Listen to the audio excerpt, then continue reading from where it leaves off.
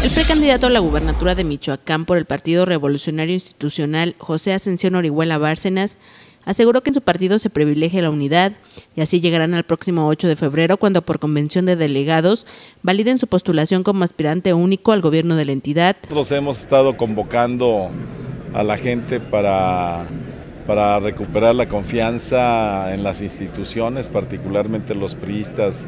Estamos abanderando un tema que nos afecta mucho a los michoacanos, que es la pérdida de confianza que se transmite hacia afuera y que nos afecta a los michoacanos. Chon Orihuela aseguró respeta las reuniones que el exgobernador Fausto Vallejo ha sostenido con el precandidato del PRD, Silvano Aureoles Conejo, así como él también ha aparecido en fotografías con políticos como Cuauhtémoc Cárdenas. No creo que Fausto estuviera en esa condición. Eh, yo respeto mucho a Fausto. Este, él planteó que se ha reunido con mucha gente. Bueno, eso es común.